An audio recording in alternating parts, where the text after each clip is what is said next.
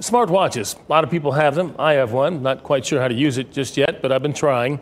But people have them for many reasons. You can track your steps, your sleeping habits. Some people can even tell when the environment around them is too loud. Turns out watches could also be instrumental in reducing the spread of respiratory illnesses. WRAL health reporter Grace Haba tells us Duke is studying whether a watch can know if you're sick before you do. You wear them to the gym, to run errands, even to work. I'm talking about your smartwatch. And researchers at Duke University are hoping data regularly collected through these devices throughout your day could actually help you know if you're sick faster.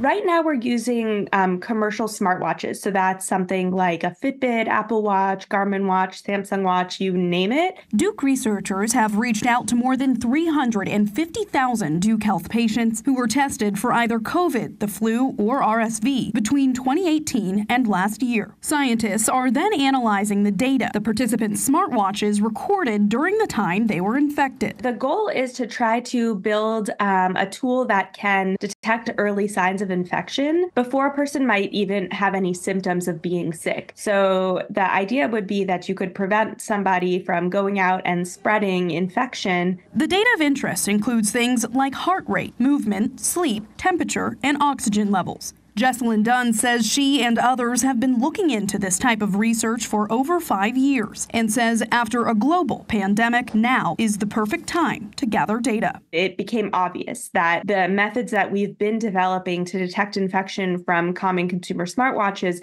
would be very applicable for these respiratory infections that are spreading rapidly. Researchers say they think the study in total could take about two years to complete.